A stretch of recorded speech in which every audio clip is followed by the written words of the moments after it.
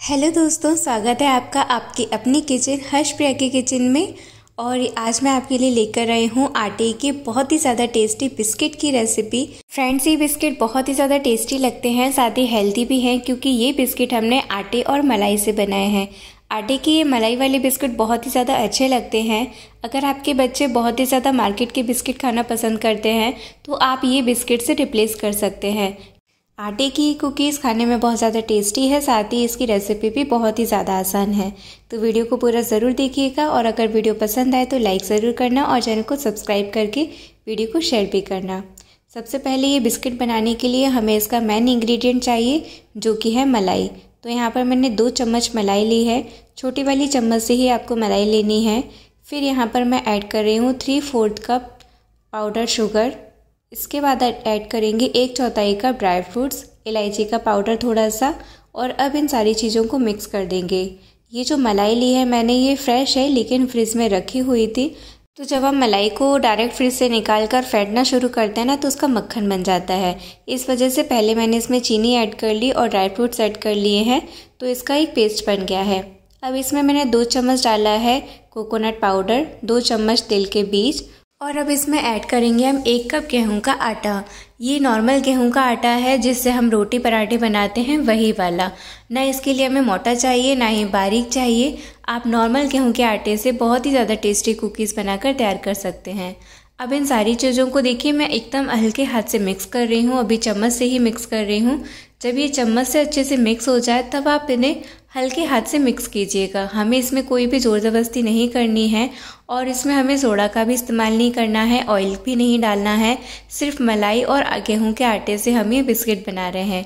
बहुत ही ज़्यादा टेस्टी बनते हैं। अब इसमें मैं ऐड करूँगी थोड़ा सा दूध। आप चाहें तो पानी का भी इस्तेमाल कर सकते हैं। और ये जो डो हम बनाकर तैयार करेंगे, ये हमें टाइट डो बनाकर तैयार करना है। गीला नहीं करना है, नहीं तो जो बिस्किट बनेंगे वो सॉफ्ट हो जाएँगे। तो देखिए, मैंने अच्छे से इसका आटा गूँथ लिया है और ये आटा एकदम टाइट है, लेकिन मैंने हल्के हाथ से आटा लगाया है, इसमें बिल्कुल भी हमें ताकत नहीं लगानी है।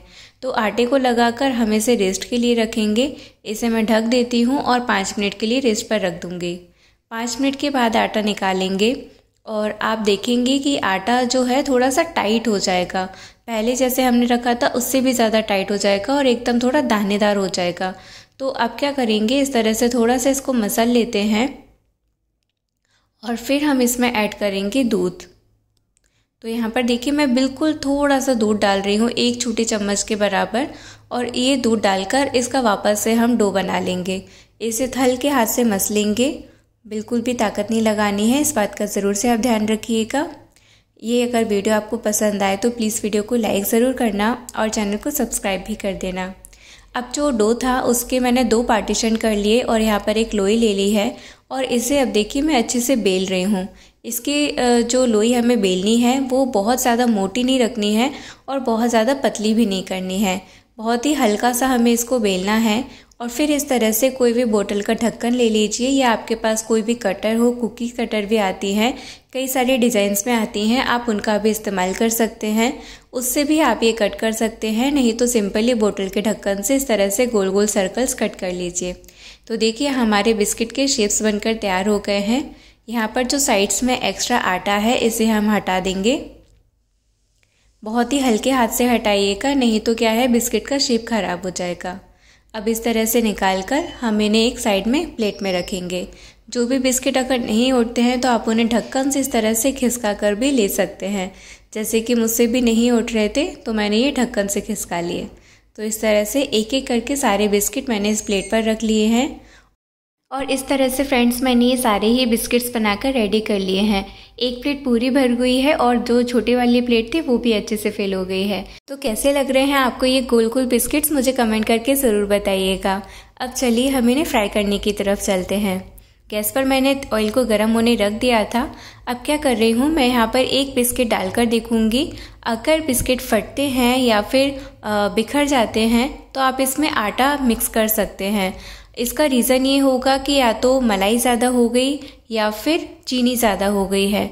तो आप इसमें आटा मिक्स करके इसे सेट कर सकते हैं। कोई भी दिक्कत नहीं है। किसी भी हालत में आपके बिस्किट ख़राब नहीं होंगे। जब इस तरह से ये तैर तैर कर ऊपर आने लगे तो आप समझ जाइएगा कि बिस्किट एकदम परफेक्ट है और हम बाकी के बिस्किट्स भी इस ऑयल में डाल सकते हैं। तो आप देख सकते हैं कि ये बिस्किट जब तैर कर आने लगा तो मैंने एक एक करके बिस्किट्स डाल रही हूँ।